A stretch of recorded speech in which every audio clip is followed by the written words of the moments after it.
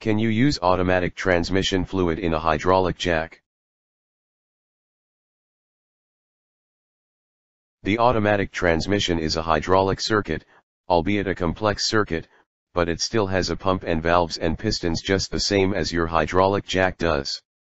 Power steering fluid is a good choice because it is a hydraulic fluid. If your jack needs fluid you may have a PSO problem.